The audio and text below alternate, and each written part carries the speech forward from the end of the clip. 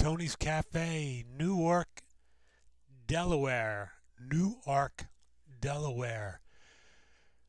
Pizza looked amazing. Place smelled amazing. Garlic bread